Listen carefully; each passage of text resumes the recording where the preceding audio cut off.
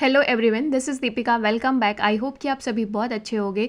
आज हम डिस्कस करेंगे जे एस मिल के पोलिटिकल थाट का एक कॉन्सेप्ट जो है जे एस मिल के जो व्यूज़ हैं लिबर्टी में। सो so, लिबर्टी को लेकर जे एस मिल क्या कहते हैं? जे एस मिल का क्या कॉन्सेप्ट है लिबर्टी को लेकर वो आज हम डिटेल में समझेंगे। इसके पहले जे एस मिल का जो यूटिलिटेरियनिज़म थ्योरी पे जो मॉडिफिकेशन था उसे हम डिटेल में समझ चुके हैं। तो अगर आपने वो वीडियो नहीं देखी है तो आप प्लेलिस्ट पर जाकर देख सकते हो। राइट अगर आपको मेरा कंटेंट पसंद है तो प्लीज़ सब्सक्राइब करना एंड थैंक्स फॉर वॉचिंग तो जे एस मिल अगर देखा जाए हम तो इनका uh, जो ब्रीफ इंट्रोडक्शन है वो आप देख सकते आ, uh, लिख सकते हो अपने आंसर में. जैसे कि जॉन स्टुअर्ट मिल जो हैं वो ब्रिटिश फ़िलासफ़र हैं इकोनॉमिस्ट हैं और वो मेंबर ऑफ़ पार्लियामेंट भी रहे हैं. ईस्ट इंडिया कंपनी में काम किया है. तो लिबरल क्लासिकल इकोनॉमिस्ट थे और उन्होंने इंडिविजुअल राइट्स जैसे कि liberty freedom of speech and expression को प्रमोट किया है प्रोग्रेसिव सोशल पॉलिसीज़ को प्रमोट किया है यूटिलिटेरियनिज्म थ्योरी को वो सपोर्ट करते हैं बट विथ मॉडिफिकेशन तो बेंथम की थ्योरी ऑफ़ यूटिलिटेरियनिज्म में इन्होंने रिविज़न किए हैं, कुछ करेक्ट करेक्ट जो करेक्शन किए हैं तो ये हम डिटेल में पढ़ चुके हैं ऑलरेडी सो so, जो आ, जो जे एस मिले इनके कुछ इंपॉर्टेंट वर्क हैं जो बहुत ही पॉपुलर हैं। बुक जैसे कि principles of political economy then utilitarianism on liberty and the subjection of women ये इनकी कुछ इंपॉर्टेंट बुक्स हैं जो बहुत पॉपुलर हैं और एग्ज़ाम में पूछे भी जाते हैं। अर्ली लाइफ के बारे में अगर बात करें तो जो जेएस मिल है, इनका जन्म 1806 लंदन में होता है। इनके फादर थे जेम्स मिल, जिनसे ये बहुत ज़्यादा प्रभावित थे, क्योंकि जेम्स मिल खुद ही एक British historian, economist and philosopher थे। तो जो पहली एजुकेशन मिलती है जेएस मिल को, वो अपने फादर जेम्स मिल्स, मिल के थ्रू मिलती है। देन नेक्स्ट जो जे एस मिल की लव जो लव ऑफ़ लाइफ थी, वो थी हैरियट हार्डी टेलर जिनका भी काफ़ी ज़्यादा इन्फ्लुएंस रहा है जे एस मिल के थॉट्स पर। तो अगर सब्जेक्शन ऑफ़ वुमेन जिसमें वुमेन के स्टेटस को लेकर विचार दिए हैं जे एस मिल ने, उसमें हैरियट टेलर का बहुत ज़्यादा प्रभाव है। तो कॉन्ट्रीब्यूशन ऑफ़ पॉलिटिकल फिलोसफी में जे एस मिल ने यूटिलिटेरियनिज्म थ्योरी पे अपना कंट्रीब्यूशन दिया रिप्रेजेंटेटिव डेमोक्रेसी पे individual liberty and status of women पे इन्होंने अपने थॉट्स दिए। तो ये इनका मेजर कंट्रीब्यूशन है और ब्रीफ इंट्रोडक्शन भी हो गया है जे एस मिल का यहाँ पर।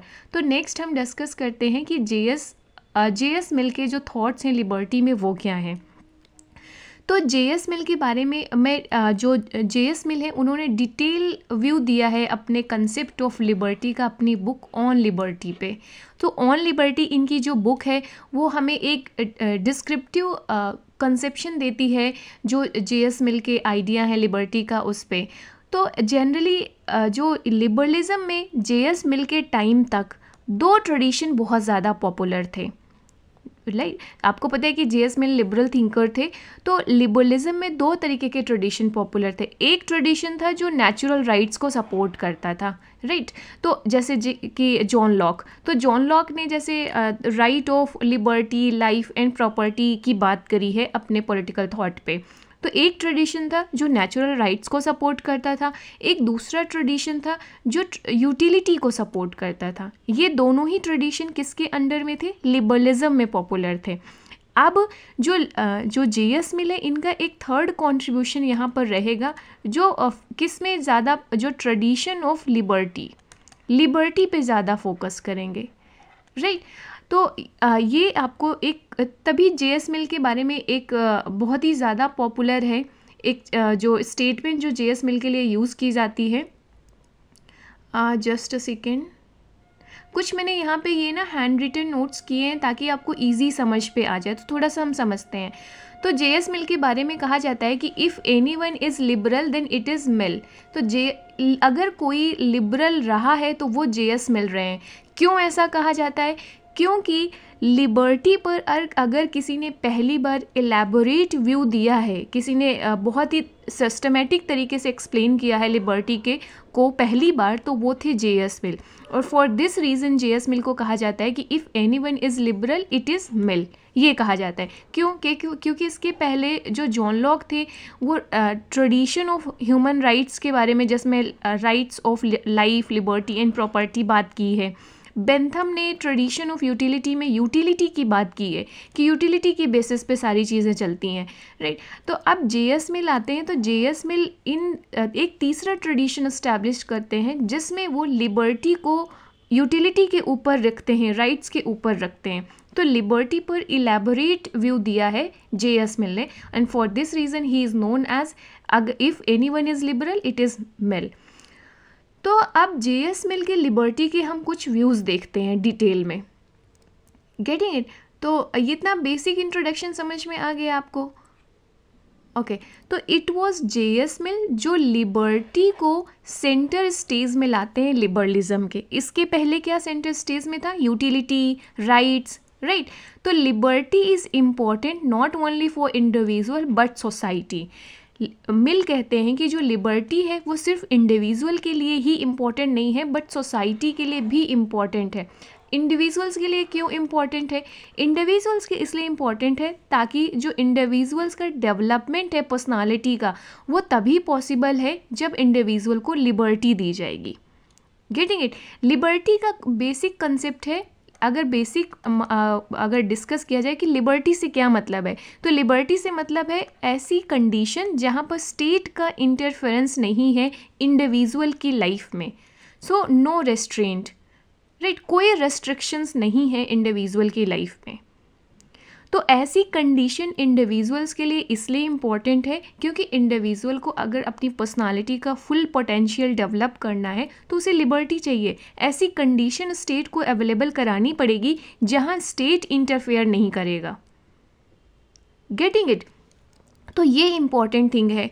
नेक्स्ट है कि ये सोसाइटी uh, या स्टेट के लिए भी क्यों इंपॉर्टेंट है साइमल्टेनियसली तो जे एस मिल कहते हैं कि अगर कोई भी स्टेट जिस तरीके से इंडिविजुअल या ह्यूमन बींग रिस्ट्रिक्शन लगाए जाने पर अपनी पोटेंशियल का डेवलपमेंट नहीं करेगा। उसी तरीके से अगर कोई स्टेट अपने इंडिविजुअल पर रिस्ट्रिक्शंस लगाता है राइट?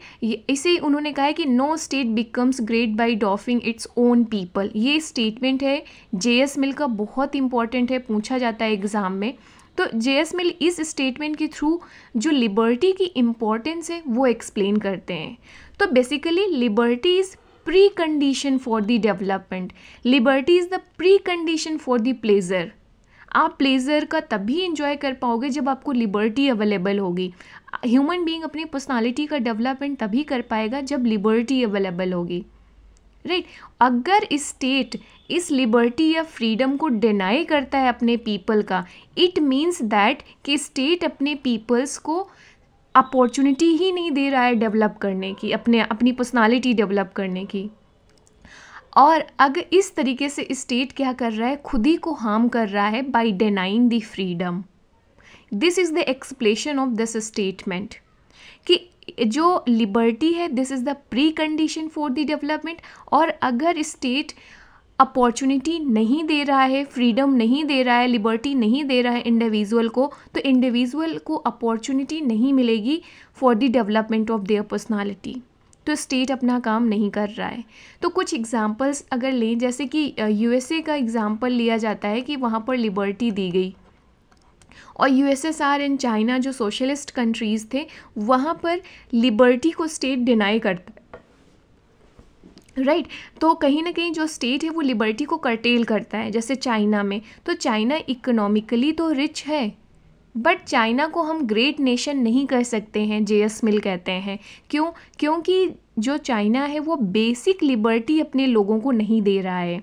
तो चाइना की कंडीशन कैसी है? जैसे कि गोल्डन केज आप इकोनॉमिकली रिच हैं, लेकिन फ्रीडम नहीं है लोगों के पास तो आप एक सोने के पिंजड़े में जैसे आप हैं तो इसे एक्सपर्ट नाम देते हैं प्रेशर कुकर सिंड्रोम राइट जो कभी भी मतलब किसी, कभी भी इस पर विस्फोट हो सकता है। प्रेशर कुकर सिंड्रोम मतलब चाइना में लोगों को लिबर्टी नहीं दी गई है तो ये अंदर ही अंदर जब लिबर्टी को सप्रेस करोगे तो अंदर ही अंदर लोगों में गुस्सा रहेगा डिससेटिस्फेक्शन रहेगा और किसी भी दिन ये एकदम बम की तरह फूट सकता है।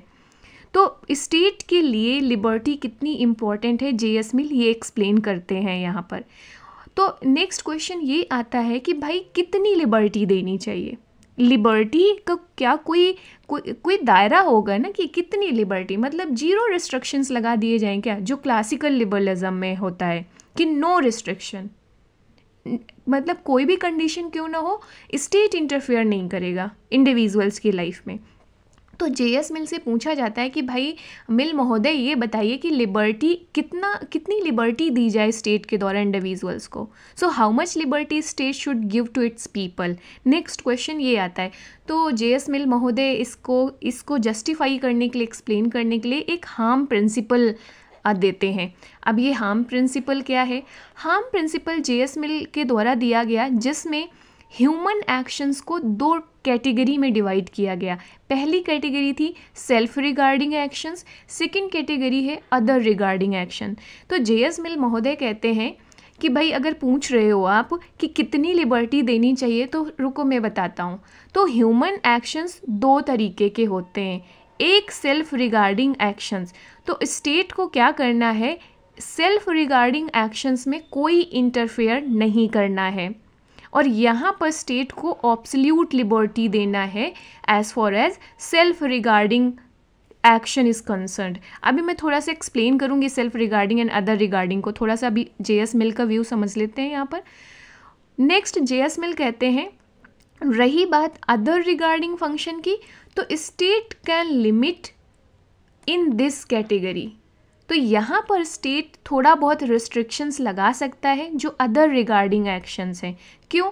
क्योंकि अदर रिगार्डिंग एक्शन से हो सकता है इंडिविजुअल के एक्शन अदर पीपल्स को हार्म करें। देखो सेल्फ रिगार्डिंग एक्शंस ये है कि जैसे आप किसी और को हार्म नहीं कर रहे हो, ऐसे एक्शंस ले रहे हो जिससे किसी, कोई और प्रभावित नहीं हो रहा है। जैसे फॉर एग्ज़ाम्पल आपको मीठा खाना है, आप मीठा खा रहे हो, ठीक है। Other regarding actions for example कि आप पटाखे फोड़ रहे हो, किसी का जाके घर जल गया तो। राइट तो सेल्फ रिगार्डिंग एक्शंस जैसे किसी और को नुकसान नहीं होगा। तो ऐसे केस में स्टेट को बिल्कुल भी इंटरफियर नहीं करना ऑप्सल्यूट लिबर्टी देना है। अदर रिगार्डिंग एक्शंस इसमें वो एक्शन शामिल है जिसमें हो सकता है कि दूसरों को थोड़ा बहुत हार्म हो जाए। तो आ, मिल कहते हैं कि ऐसे केस में क्या कर सकते हैं? स्टेट इंटरफेयर कर सकता है ताकि जिससे कि जो इंडिविजुअल्स है उसकी लिबर्टी को रिड्यूस करे और दूसरे इंडिविजुअल को हार्म ना हो पाए। दूसरे आदमी को नुकसान ना हो पाए। तो यहाँ पर इंटरफेयर हम कर सकते हैं और इंडिविजुअल की लिबर्टी को हम मिनिमाइज कर रिड्यूस कर सकते हैं लिमिट कर सकते हैं। अब इसी को लेकर सबसे ज़्यादा क्रिटिसिज्म होता है जे एस मिल का। और जे एस मिल को कहा जाएगा कि ये क्या बात हुई? ये तो अनसाइंटिफिक डिवीज़न आप कर रहे हो। ओके okay, अभी हम इसका क्रिटिसिज्म देखेंगे डिटेल में डोंट वरी तो जे एस मिल कि हमने इस कैट, जो इन्होंने कैटेगराइजेशन किया है ह्यूमन एक्शंस का self regarding and other regarding actions में तो हार्म प्रिंसिपल तो individual should have the freedom to pursue their own happiness as long as they do not harm others ये हार्म प्रिंसिपल हो गया कि इंडिविजुअल्स को liberty है फ्रीडम है अपनी हैप्पीनेस अचीव करने की, जब तक वो दूसरों को नुकसान नहीं पहुँचा रहा है। और रोल ऑफ़ गवर्नमेंट तब आता है लिबर्टी को रिड्यूस करने में या लिमिटेशंस लगाने में जब इंडिविजुअल्स दूसरे लोगों को हार्म पहुँचा रहा हो, नुकसान पहुँचा रहा हो, तब स्टेट इंटरफेयर कर सकता है। तो ये हो गया आपका हार्म प्रिंसिपल जो सेल्फ रिगार्डिंग और अदर रिगार्डिंग एक्शंस के आधार पर बेस्ड है। गेटिंग इट तो I hope you got the idea कि हार्म प्रिंसिपल क्या है और self regarding other regarding actions क्या हैं और स्टेट कब इंटरफियर कर सकता है according to J S Mill तो अब यहाँ पर इनकन्सिस्टेंसी देखने को मिलती है जे एस मिल के विचारों पर. So on the one hand जो जे एस मिल है, वो कह रहे हैं कि ऑब्सल्यूट फ्रीडम देनी चाहिए बट दूसरी तरफ़ कुछ प्रॉब्लम्स रिकॉग्नाइज करते हैं because of the absolute freedom क्योंकि ऑप्सल्यूट फ्रीडम दे दोगे तो दूसरे जो इंडिविजुअल्स हैं, उनको नुकसान पहुँचने की पॉसिबिलिटी है। दूसरों को हार्म पहुँचने की पॉसिबिलिटी है तो वहाँ पर स्टेट इंटरफेयर करेगा। तो आखिरकार मिल महोदय कहना क्या चाहते हैं? आप फ्रीडम देना चाहते हो या नहीं देना चाहते हो? ये ये आता है और इसी की वजह से जो बारकर हैं, वो एक स्कॉलर हैं अर्नेस्ट बारकर जो जे एस मिल को कहेंगे, वो खोखली लिबर्टी दे रहे हैं। Right right? तो जो जे एस मिल है, उन्होंने स्टेट इंटरवेंशन की ज़रूरत को रियलाइज़ किया है। और जब स्टेट इंटरवेंशन की ज़रूरत है तो फिर ऑब्सोल्यूट लिबर्टी कैसे हो पाएगी भाई? Right right? तो इस तरीके से आप देखेंगे कि ये इनकन्सिस्टेंसी क्यों है? तो हम पहले जे एस मिल को थोड़ा इन, इनका जो जो अर्नेस्ट बारकर है, इनके व्यू को थोड़ा सा समझ लेते हैं यहाँ पर कि जो अर्नेस्ट बारकर है, वो जे एस मिल पे एलिगेशन लगाते हैं और जे एस मिल को कहते हैं कि जो जे एस मिल है he is a prophet of empty liberty मतलब खोखली लिबर्टी है इनकी। लिप कहीं कह रहे हैं रिस्ट्रिक्शंस लगा रहे हैं, कहीं कुछ कह रहे हैं। तो जो बारकर हैं he is the supporter of the positive liberty जैसे आपको पता है कि लिबर्टी को दो कैटेगरी में बांटा जाता है, एक निगेटिव लिबर्टी एक पॉजिटिव लिबर्टी निगेटिव लिबर्टी में क्या होता है? स्टेट का कोई इंटरवेंशंस रिक्वायर्ड नहीं होता है राइट right? या अलाउड नहीं होता है ऑब्सल्यूट फ्रीडम जबकि पॉजिटिव लिबर्टी में कुछ रिस्ट्रिक्शंस ज़रूरी होते हैं स्टेट का इंटरवेंशन ज़रूरी माना जाता है ताकि स्टेट वो कंडीशन अवेलेबल करा सके, जिसमें हर एक इंडिविजुअल अपनी पर्सनालिटी अपनी कैपेसिटी को बिल्ड कर पाए। ये अंतर है positive liberty and negative liberty में। तो जो अर्नेस्ट बारकर हैं, ये एक पॉजिटिव लिबरल हैं। और जो अर्नेस्ट बारकर हैं, वो जे एस मिल को कंसीडर करते हैं निगेटिव लिबरल तो इस तरीके से अर्नेस्ट बारकर कहते हैं कि जो निगेटिव लिबर्टी है, हम इसे डिफेंड कर ही नहीं सकते किसी भी कंडीशन पे। और इस तरीके से जो जे एस मिल बात कर रहे हैं, वो निगेटिव लिबर्टी की बात कर रहे हैं और निगेटिव लिबर्टी का मतलब होता है नो लिबर्टी एक तरीके से वहाँ पे लिबर्टी आप कैसे दे पाओगे लोगों को? Getting it so Barker basically कह रहे हैं कि जो मिल है वो अपने जो कंसेप्ट ऑफ़ लिबर्टी है, उसको डिफेंड नहीं कर पाते हैं। जब, जो जे एस मिल हैं, जब सेल्फ रिगार्डिंग एक्शंस की बात करते हैं और अदर रिगार्डिंग एक्शंस की बात करते हैं तो जो अदर रिगार्डिंग एक्शंस में जे एस मिल ने स्टेट को अलाउ कर दिया है कि वो इंटरफेयर कर सकते हैं हार्म प्रिंसिपल के तहत पर तो यहाँ पर वो लार्ज स्कोप दे रहे हैं स्टेट को। गेटिंग इट तो इस तरीके से आप कह सकते हो कि जो आर्बिट्री क्लासिफिकेशन है ह्यूमन एक्शंस का ही इसे अनसाइंटिफिक एक्शंस क्लासिफिकेशन भी कहते हैं। और इस तरीके से कहा जाता है कि जो uh, जो जो मिल है वो खोखली लिबर्टी के समर्थक हैं। तो यहाँ पर अगर बात की जाए एक और आ, हाँ तो मैं फिर से यहाँ से एक्सप्लेन करना चाहूँगी इस चीज़ को जो ये लिबर्टी वाली बात है। तो जो जे एस मिल के विचारों में हमें इनकन्सिस्टेंसी देखने को मिलती है द रीज़न इज़ दिस देखो, हम ये डिनाई तो नहीं कर सकते हैं कि भाई, जो अर्नेस्ट बारकर हैं, उन्होंने इतना बड़ा एलिगेशन लगाया क्रिटिसाइज़ कर रहे हैं, खोखली समर्थ खोखली जो स्वतंत्रता है, उसके समर्थक कह रहे हैं एम्पटी जो लिबर्टी है उसका। लेकिन जब आप इसे कंक्लूड करोगे ना तो आप इतना निगेटिव या एक्सट्रीम वे पे कंक्लूड नहीं करोगे। आप कहोगे, दो कि there is a inconsistency in the J S Mill view regarding to liberty क्योंकि जो जे एस मिल है, वो कहीं ना कहीं क्रॉस रोड पे खड़े हैं।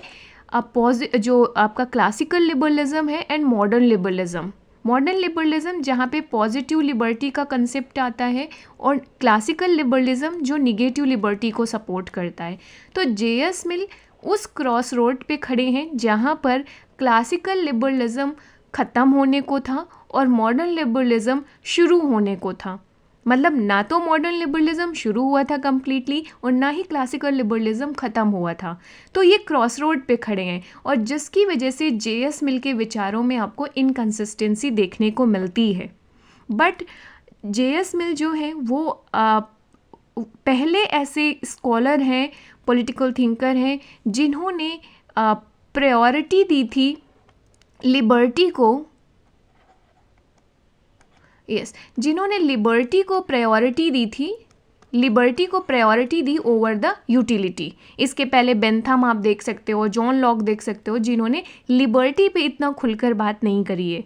तो जे एस मिल है, उन्होंने लिबर्टी को प्रायोरिटी दी है ओवर यूटिलिटी दूसरा जे एस मिल कहते हैं कि जो लिबर्टी है this is the precondition for the pleasure और इसके बाद जो लिबर्टी है, वो इंडिविजुअल एंड सोसाइटी दोनों के लिए ही इंपॉर्टेंट है राइट right? तो इस तरीके से हम ये तो नहीं कह सकते हैं कि जो जे एस मिल ने लिबर्टी का कंसेप्ट दिया था वो एकदम ही बेकार है अनसाइंटिफिक है। ये इनका ह्यूज कंट्रीब्यूशन था वेस्टर्न पॉलिटिकल थॉट में। इस तरीके से आप एक बैलेंस कंक्लूजन लिख सकते हैं। गेटिंग इट तो आई होप कि जो uh, जो जे एस मिल का कंसेप्ट है वो आपको समझ में आ गया होगा। कि जो लिबर्टी के बारे में क्या कंसेप्ट है तो लिबर्टी के बारे में इनका हार्म प्रिंसिपल ज़रूर याद रखना self regarding and other regarding वाला। और इस तरीके से इनके ये जो एक दो स्टेटमेंट है ना, उसे थोड़ा सा ज़रूर मेंशन करना। और इन जो क्लासिकल लिबरलिज़म का जो ट्रेडिशंस थे, क्योंकि ऑलरेडी उस टाइम सिचुएशन क्या थी, हमें ये भी एक्सप्लेन करना होगा तो ये भी एक्सप्लेन करना। गेटिंग इट ये दो ट्रेडिशन मेंशन करना है। इससे क्या होगा, आपका आंसर एक हॉलिस्टिक आंसर हो जाएगा कि जिसमें आपने कंप्लीट कवरेज किया है, सभी डायमेंशन को कवर किया है। तो आई होप कि आज का डिस्कशन आपको बेनिफिशियल रहा होगा, आपको, आपका जो ये कंसेप्ट है वो क्लियर किया होगा। Thank you so much guys once again I would like to request please like share and subscribe my channel if you found my content worthful see you in the next video bye take care